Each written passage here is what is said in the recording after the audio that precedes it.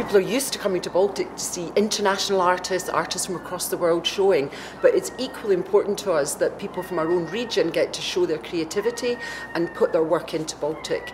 We did our first Baltic Open submission during the pandemic, just after lockdown, and it was so well embraced by the region and people really enjoyed that sense of seeing their shared creativity that we felt we had to build this and do it again. The partnership with Fenwick came about through our shared sense of belief in the region, in creativity in the region, and this sense that we could come together to support the social purpose of ensuring arts are accessible to everybody. Art and cultural landmarks like the Baltic play a very important part um, of our community, and we really need them in our towns for bringing people together, uh, to inspire people, and for people to really connect through art.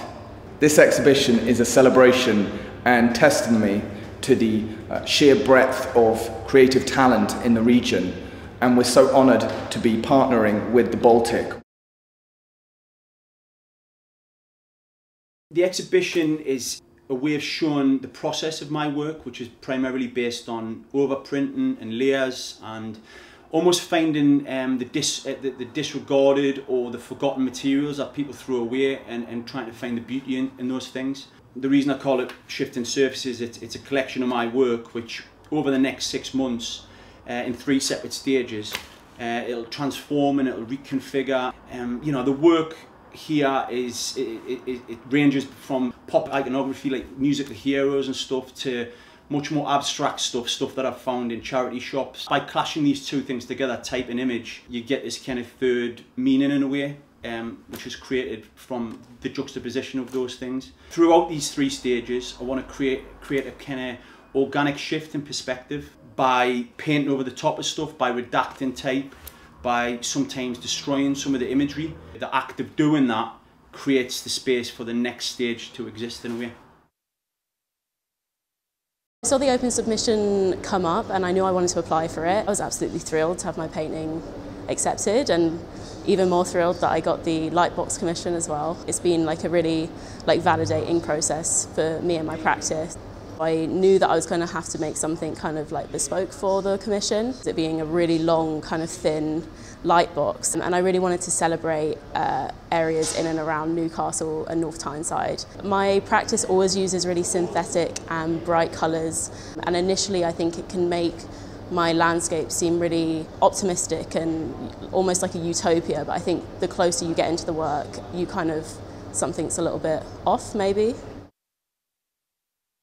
As an artist you do art you create some imagination and you believe some point some will someone will interest about your style but you never arrive to level like yes you know what? They will like my artwork. Not only like they will even press on the flag. So that's quite big deal for me. And when i heard this i really honored and i was super emotional.